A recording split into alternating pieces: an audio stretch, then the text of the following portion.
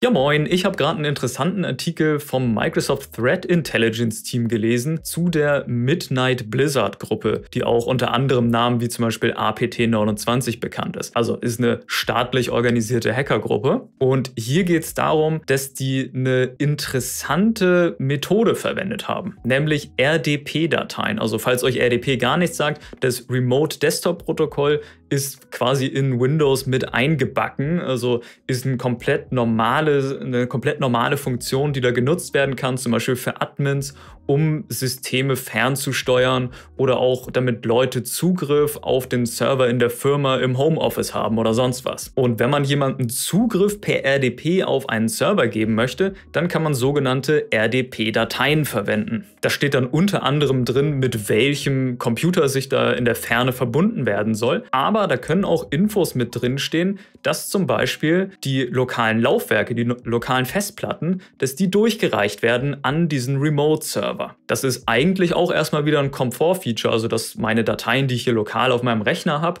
dass ich die dann halt auch auf dem Remote-Computer drauf zugreifen kann. Und dieser Zugriffsweg zurück von dem Remote-Computer auf meinen eigenen lokalen Computer, der läuft mit den gleichen Rechten wie sonst halt auch ich hier auf meinem lokalen Computer habe. Also ich kann zum Beispiel meine ganzen eigenen Dateien ansehen, was auf dem Desktop ist und sonst was. Und der Zugriff auf weitere Ressourcen ist auch noch möglich, also wie zum Beispiel auf Drucker oder auf die Zwischenablage. Es können Smartcards ausgelesen werden und, und, und. Aber ich habe mich jetzt hier erstmal auf den Laufwerkszugriff fokussiert, weil ich das ganz interessant fand, das Szenario sich vorzustellen, dass ich mich einfach nur mit einem RDP, mit einem Remote-Computer verbinden muss, damit mein lokales System infiziert wird. Weil ich persönlich bin zwar nicht so 100% davon ausgegangen, aber irgendwie so ein bisschen die Grundtendenz hatte ich da, dass ich dachte, ach, wenn ich mich jetzt so per RDP auf ein Remote-System verbinde, dann kann das ja nicht wirklich Auswirkungen auf meinen eigenen Computer haben. Ich mache da ja nur ein bisschen Fernsteuerung. Ich greife auf diesen anderen Computer zu und mein eigener Computer ist safe. Aber das ist auf jeden Fall nicht so. Ich demonstriere einmal kurz, wie es funktionieren könnte. Und bevor wir damit richtig loslegen, möchte ich einmal noch kurz äh, zeigen, dass hier nicht getrickst wird. Also das hier ist mein lokales Autostart-Verzeichnis von meinem Benutzer. Also in meinem Benutzerprofil App Data Roaming Microsoft Windows Start Menu Programs Startup. Da ist jetzt aktuell nichts drin. Also ich kann hier auch nochmal neu laden, da kommt nichts Neues dazu. Und dann gehen wir jetzt einfach mal davon aus, dass ich ein nichtsahnender User bin und ich habe jetzt hier so eine .rdp-Datei zugeschickt bekommen. Vielleicht per E-Mail, vielleicht irgendwie als Link irgendwie auf einer Webseite. Ist egal, auf jeden Fall, ich habe jetzt diese Datei und versuche die einfach mal zu öffnen. Und diese Datei ist signiert. Das scheint wohl halt auch so eine Masche jetzt hier von dieser Hackergruppe gewesen zu sein, dass sie die Dateien zusätzlich signiert haben. Deswegen kriege ich jetzt hier so ein blaues Schild und das sieht erstmal nicht ganz so schlimm aus. Was jetzt hier aber ein bisschen versteckt ist, ist der Bereich in den Details. Hier ist nämlich jetzt schon angehakt, dass meine Drives, meine Laufwerke, das Clipboard, die Zwischenablage und meine Printer, also meine Drucker, dass die auch an das Remote-System weitergegeben werden. Also der Zugriff ist dann da auch möglich. Aber wie gesagt, ist hier versteckt, sieht man nicht, ist aber trotzdem angehakt. Einmal ganz kurz als Vergleich, wenn die Datei nicht signiert wäre, dann würde es so aussehen, also mit einem gelben Warnungsschild und hier, oh, konnte nicht identifiziert werden, wollen Sie wirklich verbinden, uiuiui. Aber meins ist ja signiert, deswegen sieht erstmal alles cool aus. Ich klicke also auf Connect und gebe hier meine Zugangsdaten ein. Also die hätte ich eventuell dann ja auch per E-Mail in einer Phishing-E-Mail von dem Angreifer bekommen. Aber ich meine, dass RDP auch so anpassbar ist, dass dann da gar keine Zugangsdaten angefordert werden. Das wäre natürlich dann nochmal eine Schippe extra drauf. So, ich habe jetzt hier eine ganz normale Windows-Anmeldung bekommen. Da ist kurz einmal so ein Command-Line-Fenster hochgepoppt. Würde ich jetzt aber sagen, ist für viele Leute jetzt auch erstmal gar nicht so komisch. Also gerade im Unternehmensumfeld kann es ja gerne mal sein, dass da irgendwelche Startup-Skripte laufen oder sonst was. Und da wundert man sich dann vielleicht auch gar nicht drüber und ja, jetzt bin ich hier auf diesem Remote-System, macht da vielleicht irgendwas oder auch nicht, aber ist egal. Im Hintergrund wurde mein eigentliches System, von dem ich aus hier zugegriffen habe,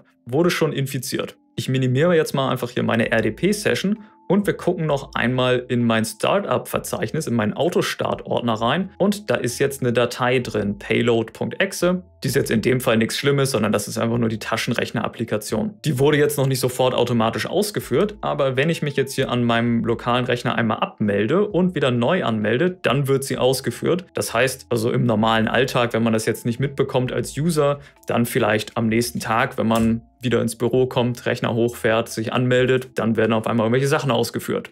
Und da ist der Taschenrechner hochgeploppt. Und wie bereits ein bisschen früher schon in diesem Video erwähnt, das Remote-System hat ja komplett so wie wir selber Zugriff auf die lokale Festplatte von unserem Client. Das heißt, da könnte jetzt auch nicht nur unbedingt was in den Autostart geschoben werden, sondern es könnten halt auch ganz klassisch Daten entwendet werden. Also es könnte zum Beispiel versucht werden, irgendwie was aus den Browser-Daten rauszuziehen, vielleicht eine Passwortdatei, irgendwelche Dokumente, die man da liegen hat alles Mögliche an Daten, auf die ich selbst Zugriff habe, die im Dateisystem liegen, da könnte natürlich das Remote-System versuchen, mir diese Daten abzuziehen.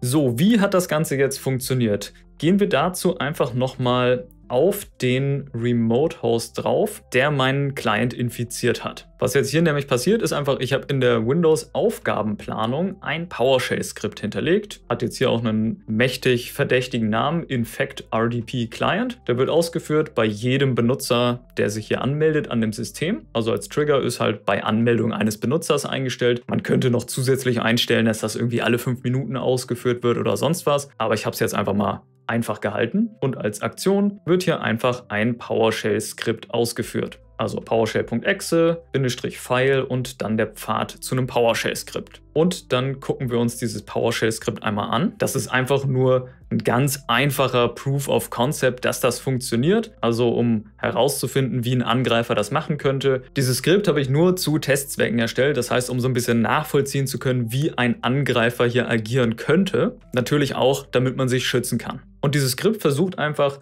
backslash backslash tsclient backslash c aufzurufen. Das ist eine automatische Windows-Dateifreigabe, die auf meinen RDP-Client zeigt. Also der Computer, von dem aus ich mich verbinde.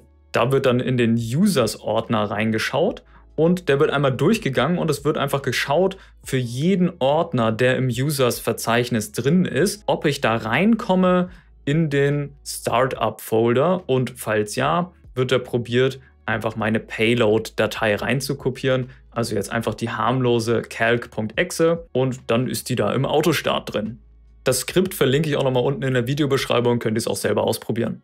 Und das Gemeine ist ja, dass die User überhaupt gar keine Meldung und keine Info darüber bekommen, dass jetzt hier was in den Autostart reingeschrieben wurde. Das ist zumindest bei mir jetzt hier bei einem Windows 11 23 H2 so gewesen. Aber ich habe es auch ähm, probiert, einmal von einem Windows Server 2022 zu machen. Und wenn ich meine RDP-Verbindung von dort aus aufgebaut habe, da habe ich dann eine Warnungsmeldung bekommen. Also eine Warnung in dem Moment, wo mein Autostart angepasst wurde. Ich blende hier nochmal kurz ein, wie es dann da aussehen würde. Aber je nachdem, wie jetzt da irgendwie die Datei von dem Angreifer gestaltet ist, sieht das vielleicht auch gar nicht so verdächtig aus, was da passiert. Man könnte ja machen, dass da steht hier irgendwie Anti-Malware-Service wurde da jetzt hinzugefügt oder sonst was. Klingt erstmal überhaupt nicht verdächtig. Und ja, Taschenrechner ja auch nicht unbedingt. Das klingt aber ein bisschen komisch. Wer da versiert ist, kann da bestimmt noch irgendwie ein bisschen was Schlaueres reinschreiben, dass es nicht verdächtig aussieht. Ach so, und zum Signieren der RDP-Dateien, das geht eigentlich auch ziemlich einfach mit dem Microsoft-Tool RDP Sign und mit kostenlosen Webserver-Zertifikaten von Let's Encrypt. Also da braucht man jetzt nicht irgendwie ein Code-Signing-Zertifikat oder so, sondern kann man da sogar komplett mit kostenlosen Zertifikaten auch machen. So, wie kann man sich jetzt schützen? Also, was man schon mal überlegen könnte, wäre, den ausgehenden Standardport für RDP zu blockieren, also 3389. Ähm, allerdings könnte ein Angreifer auch problemlos natürlich einen RDP-Server auf einem anderen Port laufen lassen. Da bringt es dann nicht wirklich was. Aber wenn eure Netzwerk-Firewall da vielleicht ein bisschen besser filtern kann, auch nach Protokoll, dann könnte man ausgehend ins Internet das RDP-Protokoll zum Beispiel komplett sperren oder nur auf bestimmte Gegenstellen erlauben, wenn ihr irgendwo RDP-Server habt, wo man vielleicht doch mal rauf soll vom internen Netz irgendwo im Internet. Ansonsten scheint es leider keine richtige Schutzmaßnahme per Richtlinie zu geben. Also ich habe jetzt hier per Gruppenrichtlinien versucht, die Laufwerksumleitung zu verbieten. Allerdings kann ich das nur serverseitig einstellen und nicht für den RDP-Client. Und ja, wenn der Server irgendwie bösartig gestaltet ist, dann bringen mir halt nicht irgendwelche Serverrichtlinien was, da habe ich ja gar keinen Einfluss drauf. Bisschen schade. Falls ihr sonst noch Ideen habt, wie man sich schützen kann, schreibt gerne einen Kommentar. Ansonsten als End-User könnt ihr euch natürlich schützen, wenn ihr euch per RDP verbindet, gerade wenn es per RDP-Datei ist, dass ihr da schaut, dass dann die Haken alle rausgenommen sind für die Laufwerke und die anderen Sachen sind vielleicht auch nicht unbedingt notwendig, könnten auch nochmal ein Risiko für sich darstellen. Oder wenn ihr manuell einen Server angibt bei dem Remote Desktop Connection Ding, also mstsc.exe, da könnt ihr auch Show Options aufklappen, lokale Ressourcen und dann hier alles Unnötige entfernen. Ich bin mir nicht sicher, ob da die lokalen Laufwerke im Standard mit dabei wären oder nicht. Aber würde ich auf jeden Fall nochmal kontrollieren, bevor ihr euch mit irgendeinem fremden System verbindet. Und ich hoffe, ihr fandet das interessant oder nützlich. Es gibt auf meinem Kanal auch noch einen PowerShell-Kurs, falls euch sowas interessiert, schaut mal in die Playlist hier. Und weitere Videos zu Security-Themen gibt's in der Playlist. Und danke fürs Reinschauen, haut rein!